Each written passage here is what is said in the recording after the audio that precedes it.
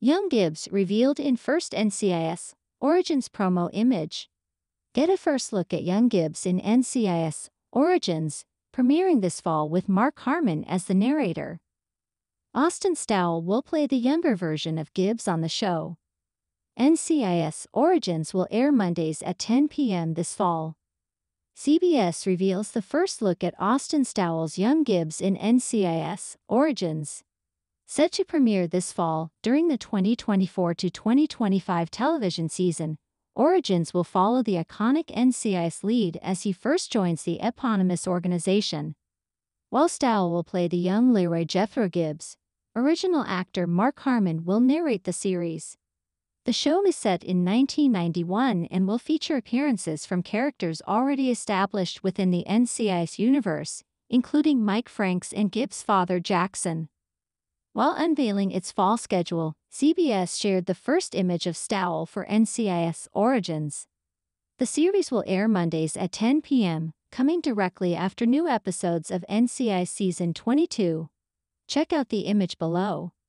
Though the image reveals little of Stowell's surroundings, it sets the stage for his forthcoming debut. CBS has not yet set an official premiere date for the show, but it will presumably arrive sometime in late September, based on the network's typical fall schedule. What this image reveals about NCIS Origins Stowell's first look might reveal something about when Origins begins. Assuming this image comes from the show itself and isn't a simple promotional shot, it looks like NCIS Origins will begin with Gibbs in a unique place.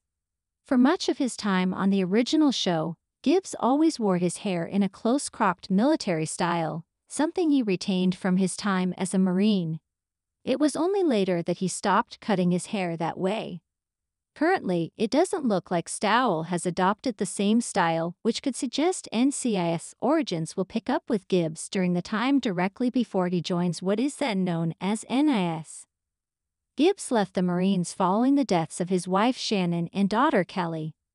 According to NCIS' currently established timeline, he was gravely injured in Operation Desert Storm shortly after learning of their deaths and had to spend significant time recovering in the hospital. It could be that, during this time recovering and getting discharged from the Marines, Gibbs grew out his hair and only began cutting it close again when he started working at NIS.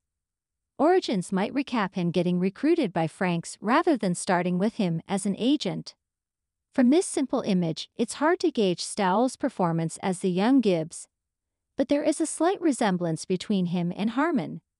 Though Harmon played a vastly different Gibbs, the character still spent much of his time on the original NCI scared by the loss of his family, and Stowell can mine elements of Harmon's performance to create his depiction of a Gibbs who is actually a probie, but already carrying the same weight as his older self. Origins should be a fascinating look at the beloved character, who left NCIS in season 19. As NCIS, Origins doesn't officially debut until the fall, it will likely be some time before more is revealed about the series. Production will ramp up this summer, and additional looks could come then. The prequel is one of four NCIS shows in the works, with the others being Season 22 of the flagship, NCIS, Sydney Season 2, and the untitled Tony slash Ziva spin-off. Origins will take the place of the recently cancelled NCIS, Hawaii on the CBS schedule and it already seems as though the network has high hopes for this project.